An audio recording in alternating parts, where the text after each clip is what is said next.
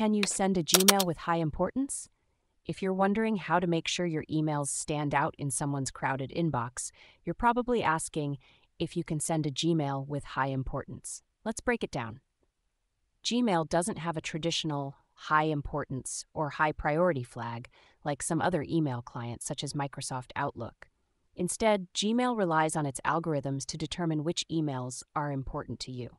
So, how does Gmail decide what's important? It looks at several factors, including your interactions with the sender. If you frequently read and respond to emails from a particular person, Gmail will likely mark their future emails as important.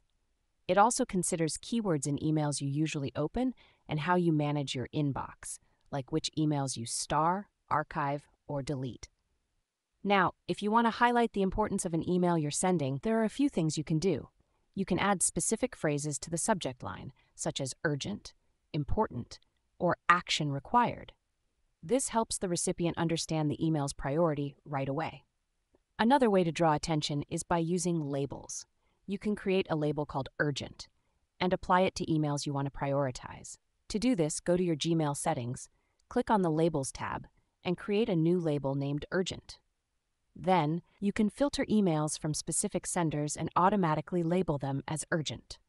If you're receiving emails and want to see which ones Gmail thinks are important, look for the yellow importance marker next to the email.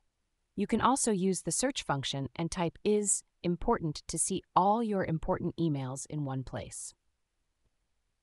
In summary, while you can't send a Gmail with a traditional high importance flag, you can use Gmail's built in features and your own labeling system to ensure your emails get the attention they need.